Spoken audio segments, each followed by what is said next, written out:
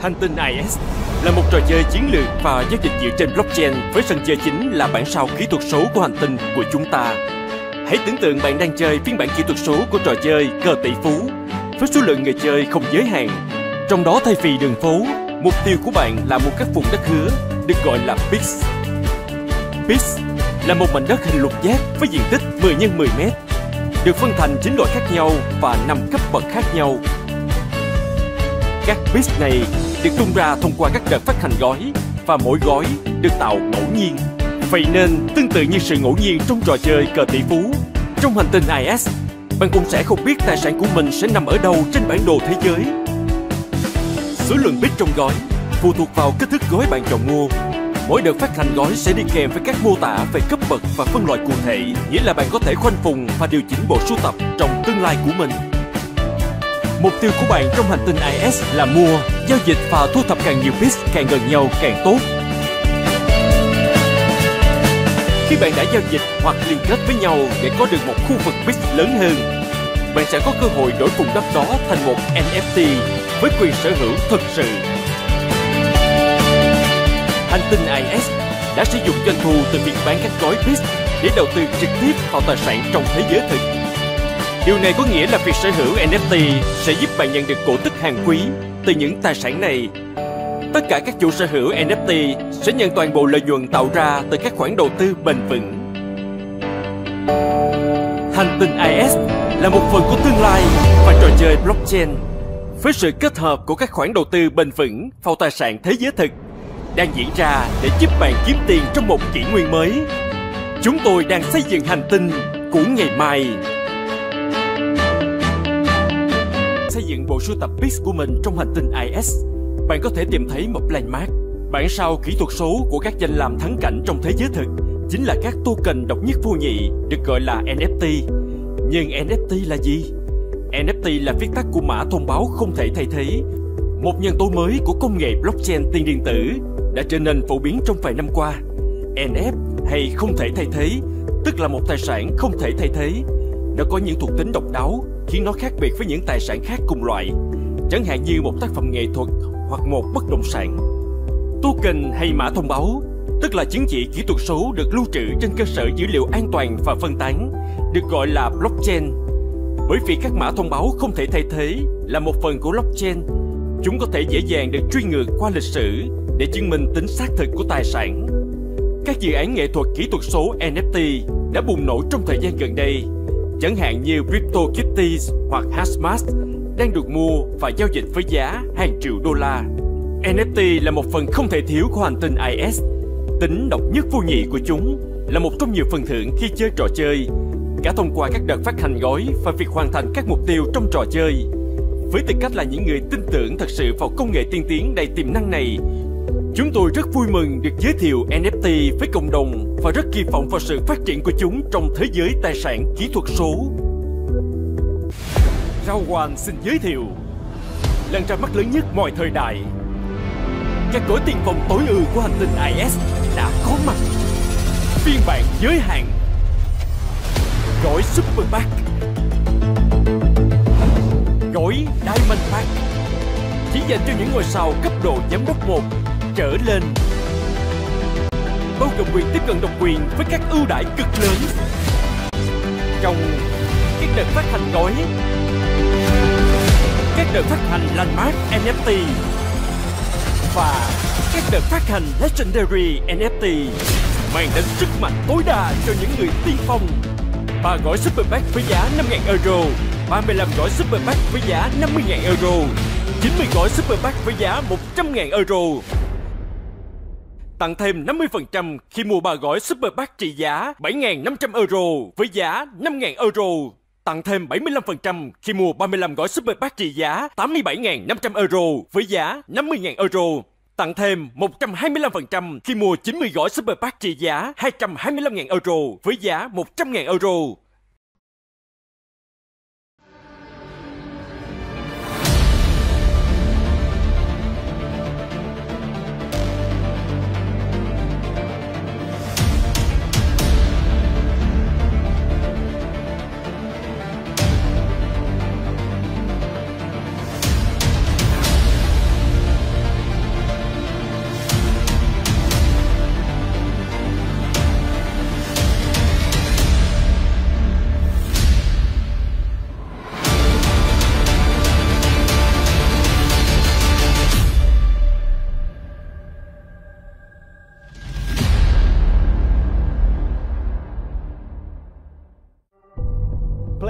IX là một trò chơi bản sao kỹ thuật số của hành tinh, để người chơi có thể mua, thu thập và giao dịch với nhiều lựa chọn. Vì vậy chúng tôi gọi đó là những vùng đất hứa. Mọi người sẽ nhận được các gói hàng và sau đó đi vào thị trường và sau đó họ có thể bán, trao đổi, mua trực tiếp từ những người chơi khác. Hãy chơi một cách thông minh và bạn sẽ nhận được phần thưởng.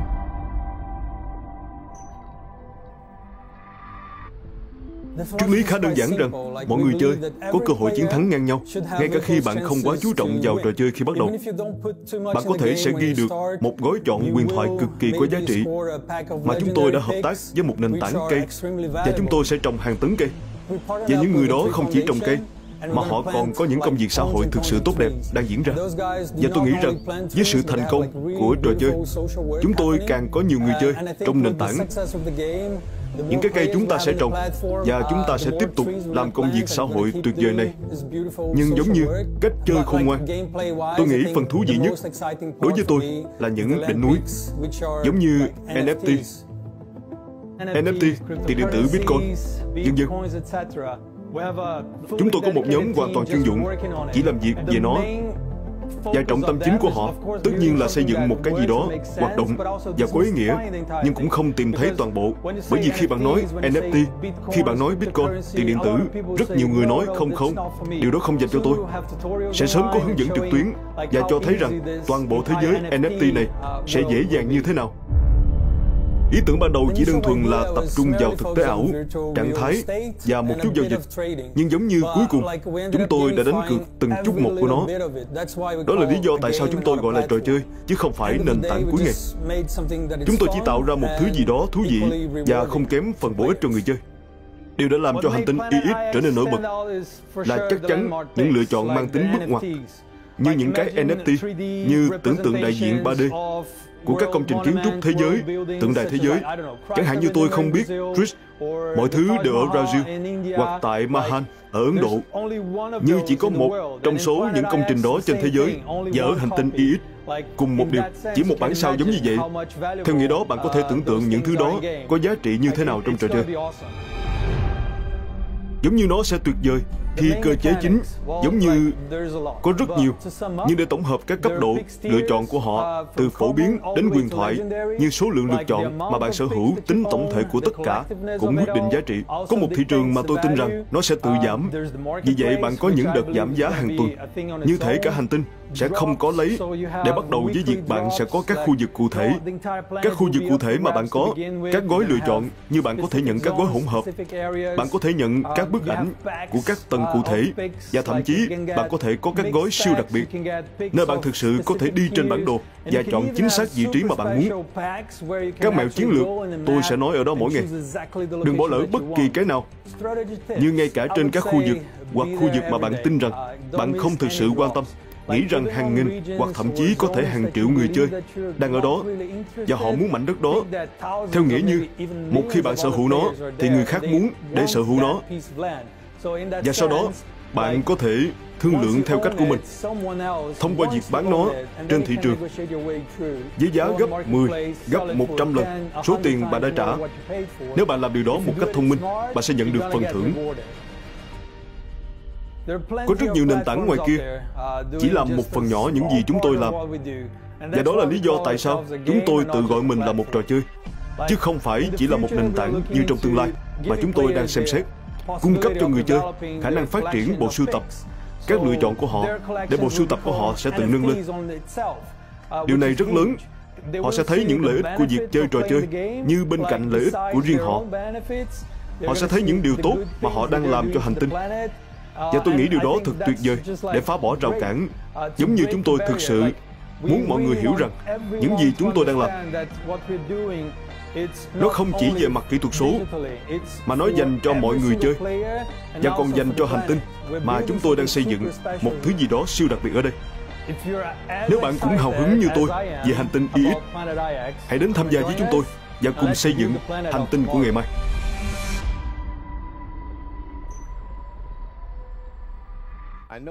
Tôi biết tất cả các bạn đã chờ đợi nó.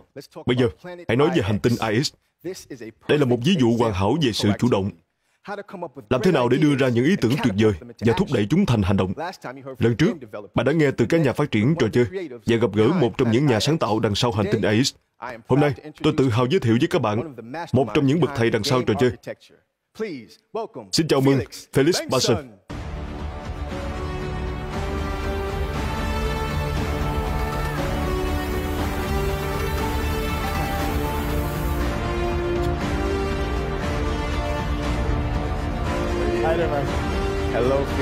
Xin chào Felix. Ồ, có lửa. Đúng rồi, anh mang theo hơi nóng. Vâng, cảm ơn anh đã tham gia với chúng tôi ngày hôm nay. Rất hân hạnh được đến đây. Ôi trời, vậy là chúng ta đây rồi. Anh có thể vui lòng có lẽ bắt đầu bằng cách cho tôi biết một chút về bản thân, lý lịch của anh và vai trò của anh với hành tinh AX không? Chắc chắn rồi, tôi là một trong những thành viên nhóm sáng lập của studio trò chơi phát triển hành tinh AX. Và vai trò của tôi ở đó là hiểu được tính kinh tế, tiền điện tử của trò chơi và kết thúc của việc này. Và tôi đã làm điều đó trong một vài năm, là một phần của một số sao thiên dương thành công trong không gian đó. Vì vậy, đó là một thử thách rất thú vị mà chúng tôi đang chờ đợi phía trước. Vậy, bản beta sẽ sớm ra mắt. Ý tôi là, tôi đoán có rất nhiều người chơi thực sự tò mò về hành tinh AX và họ muốn biết điều gì đang xảy ra. Nhưng, ý tôi là thông qua cơ hội của Brown mà chúng tôi đã thấy anh biết rằng có sự quan tâm rất lớn đến việc trở thành một phần của quá trình ra mắt phiên bản beta. Vì vậy, chúng tôi đang làm việc suốt ngày đêm và chúng tôi thực sự vui mừng khi giới thiệu mọi người. Rất tuyệt vời. Nhưng ý tôi là bây giờ có rất nhiều thứ diễn ra. Nhưng đối với những người có thể thực sự không biết, thì trò chơi hoạt động như thế nào? Ngay từ đầu đã có một chút phô trương. Nhưng từ góc độ meta, nó giống với trò tỷ phú. Anh biết đấy, một trò rác game cổ điển. Hành tinh ấy giống như một bản sao của thế giới. Vì vậy anh biết đó, nó có thể chứa nhiều người hơn. Nhưng tài sản trong trò chơi và theo nghĩa của trò chơi là khá giống nhau. Trong tỷ phú, anh dựa vào may mắn. Anh biết đấy, khi anh ra đường, và ở hành tinh ấy, anh dựa vào những gói rơi. Và trong những gói rơi đó, anh sẽ nhận được những vị trí một cách ngẫu nhiên. Vì vậy, các tiện ích trong trò chơi khá giống nhau. Nhưng cũng giống như trò tỷ phú, anh phải bắt đầu thu thập một số vị trí để phát triển chúng. Trong hành tinh Ace, anh phải kết hợp các pixel lại với nhau để bắt đầu phát triển chúng.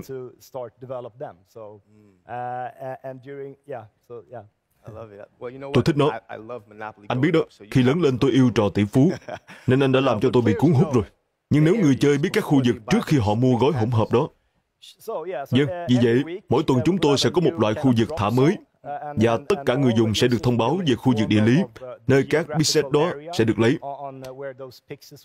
Vì vậy, chúng tôi sẽ chuẩn bị chúng trong một vài ngày trước mỗi lần rơi. Chúng tôi sẽ phát hành một giới hạn về số lượng gói trong mỗi tuần. Nhưng đừng quá điên rồ. Sẽ có một đợt rơi khác ngay gần đó. Ok. Thật tốt khi biết như vậy. Vậy những gói hỗn hợp này có giống nhau hay không? Hay chúng được bao gồm thế nào? Vâng, điều đó phụ thuộc vào số lượng. Nhưng chúng đều giống nhau. Theo nghĩa là có những gói đến từ các cấp khác nhau. Quyền thoại sẽ rơi xuống đến người phát thảo và chúng đều được phân bố đều. Nên trong khoảng thời gian đầu, ít nhất là hai tháng đầu, chúng tôi sẽ bắt đầu mở rộng game. Và sau này, chúng tôi có thể thu hẹp các gói giảm xuống để các cấp duy nhất của nó sẽ được bao gồm trong các gói. Nhưng từ khi trò chơi bắt đầu, chúng tôi sẽ chỉ tập trung vào việc kết hợp. Thật là những thông tin tốt cho những người đang theo dõi trò chơi. Vậy, về cơ bản người chơi nên làm gì với những lựa chọn này mà họ nhận được trong gói? Vì vậy, chúng tôi sẽ sớm ra mắt, và tôi nghĩ điều quan trọng cần phải nói là phải hiểu trò chơi. Các sản phẩm cốt lõi của chúng tôi sẽ là thị trường, vì đó là cách duy nhất.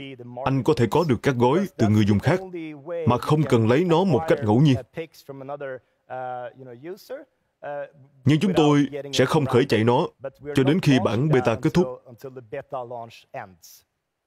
Vì vậy, tất cả những người thu thập gói phải cố gắng làm quen với cơ sở hạ tầng trò chơi, giao diện người dùng và giao diện người dùng trên nền tảng, đồng thời bắt đầu đưa ra các tuyên bố về cách họ có thể giao dịch để thu thập nhiều gói hơn trong một khu vực tập trung hơn. Ok, nhưng tôi phải hỏi, có phải giao dịch đã diễn ra ở giai đoạn beta rồi không? Không phải trong giai đoạn beta. Chúng tôi coi giai đoạn này hoặc buổi ra mắt này là một cơ hội tuyệt vời để đào tạo người dùng về cơ chế của trò chơi. Mục tiêu cuối cùng là các chiến lược đằng sau nó. Anh biết đó. Người dùng của chúng tôi sẽ phản ứng như thế nào và họ tương tác với nền tảng như thế nào và đó là những thứ mà chúng tôi thực sự không thể biết đến bây giờ. Thật thú vị. Giao dịch sẽ không nằm trong tháng đầu tiên đâu.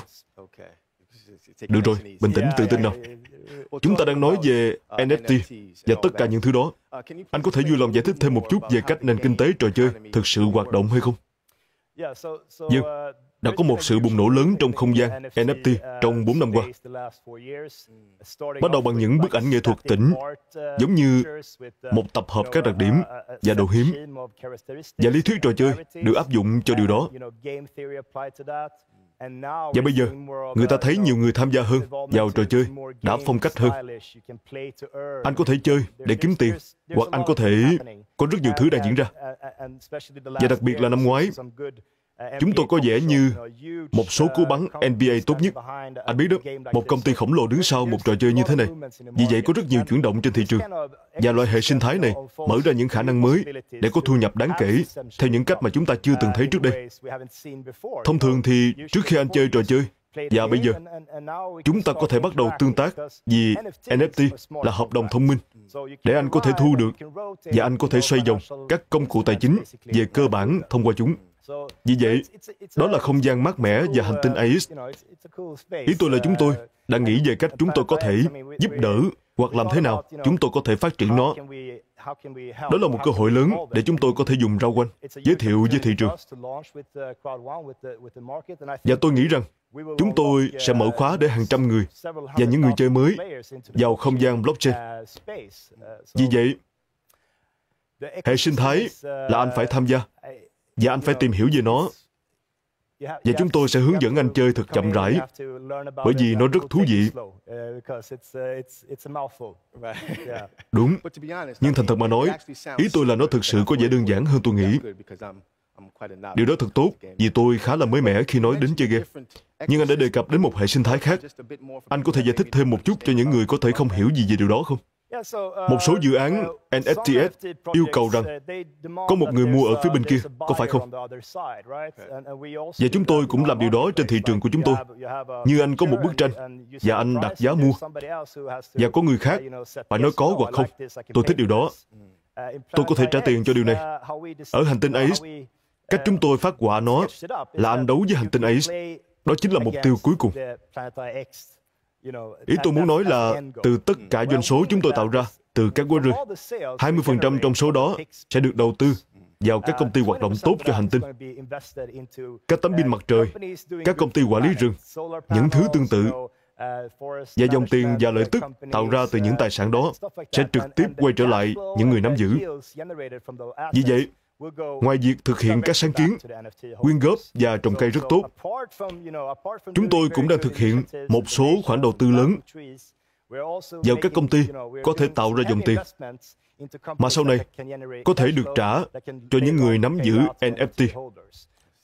Vì vậy, theo nghĩa đó, anh không phụ thuộc vào người khác không phải là đối thủ, mà là người dùng khác mua tác phẩm của anh. Đúng vậy. Anh phụ thuộc vào việc chơi trò chơi và thông qua đó, anh sẽ nhận được một số phần thưởng. Đúng vậy. Chơi hết mình và anh thắng, đúng không? Được rồi. Vậy tôi nghĩ tôi hiểu rồi. Vậy một bộ sưu tập gói có thể đổi lấy NFTs. Đúng, chính xác. Vì vậy, thực tế, có hai loại NFT khác nhau trên hành tinh Ace. Một loại có thể kiếm được thông qua chơi, như giao dịch và lấy được các gói. Loại thứ hai mà chúng tôi phát hành là cột mốc. Và cột mốc này, về cơ bản, là tài sản độc đáo của di sản và cột mốc thế giới. Và từ ngày đầu tiên, chúng tôi đặt chúng ra ngoài, để mọi người có thể thấy chúng đang ở đâu và trên thế giới. Nhưng họ không thể chơi để kiếm được chúng. Nó dựa vào may mắn nhiều hơn. Vì vậy, chúng sẽ được phát ra trong các gói rơi như các gói phổ biến mà anh mua vào. Những gì các NFTs này có như một cơ chế phần thưởng là chúng có một khu vực xung quanh chúng, nơi tất cả các giao dịch của tất cả các gói bên trong khu vực đó Họ có hoa hồng trên phí giao dịch mà người dùng sẽ phải trả trên thị trường. Và nếu như anh có một gói quyền thoại thì nó sẽ bao phủ khá nhiều diện tích. và những năng lượng đó sẽ mang lại một số giá trị. Tôi có thể bảo đảm với anh rằng, vâng, tôi có thể tưởng tượng được. Có bao nhiêu NFTs có sẵn trong trò chơi? Khoảng thôi, không cần chính xác. Ngay từ đầu, trong giai đoạn thử nghiệm, chúng tôi sẽ chỉ phát hành một vài trong số chúng. Nhưng anh sẽ thấy tất cả chúng, vị trí của chúng, và chúng tôi sẽ đảm bảo rằng mọi người đã sẵn sàng khi NFT sắp rơi xuống. Thật vậy, tôi có thể tưởng tượng mọi người sẽ rất khao khát các NFT đó. Nhưng tôi phải nói với anh rằng, điều này thực sự cực kỳ ấn tượng. Nhưng hành tinh AX nếu như tôi hiểu chính xác, nó giống như là mang lại cho những người chơi khả năng kiếm một chút thu nhập bằng cách chơi trò chơi và đồng thời đóng góp cho hành tinh thực. Ý tôi là có một vùng đất hữu hạn trong thế giới thực và cả ở hành tinh ấy. Vì vậy, theo nghĩa đó, nếu anh nắm giữ một mảnh đất mà người khác muốn, giá của nó có thể tăng lên. Nhưng điều quan trọng cần nhớ là chúng tôi không thể đảm bảo với anh rằng sẽ có sự tăng giá. Nhưng nếu như anh chơi trò chơi một cách thông minh và anh hiểu cơ chế về sự khan hiếm và các cơ hội nảy sinh trên thị trường, anh có thể kiếm thêm được thu nhập.